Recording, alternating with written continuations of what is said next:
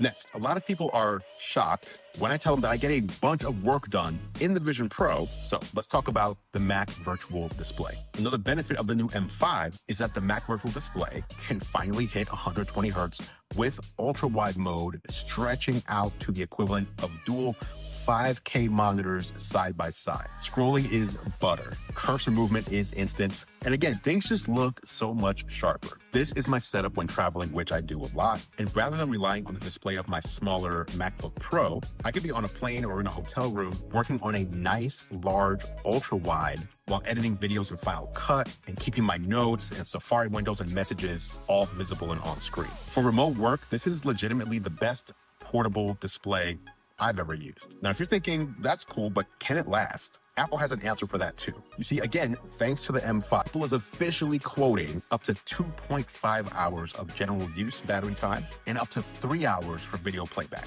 That's a 25% improvement over the original Vision Pro for general use and a 20% improvement when it comes to video playback.